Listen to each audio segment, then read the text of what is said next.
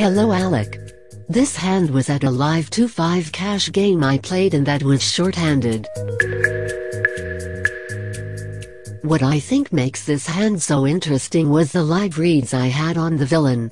I had cleaned him out twice over the night, and after cooling off, he had just bought back in again before this hand. I could see he had his sights set on his chips that were in my stack.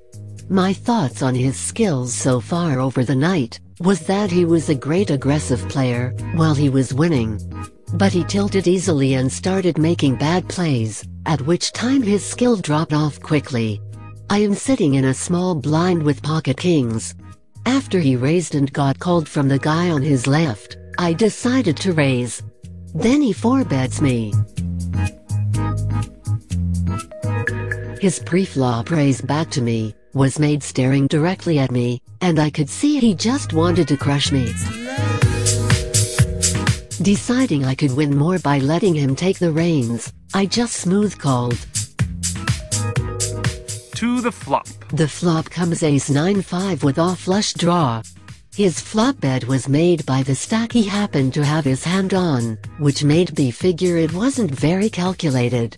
I decided there was no way he is really happy with any hand he had, since any ace in his range would be worried about the flush, and obviously a draw would just be a draw. So when he so confidently tossed his bet out I was certain. I was ahead. The turn check was just pot control on my part. I could see he wasn't happy with the third club either. But I could still see the fierceness in his gaze that he was just acting way too tough for his hand.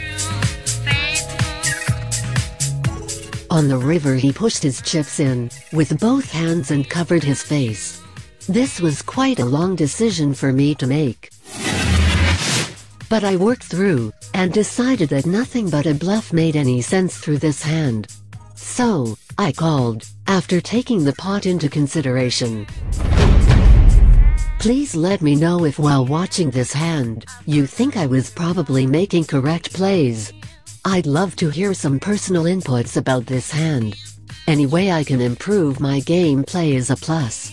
I am constantly watching your videos and extracting as much knowledge as I can out of everyone.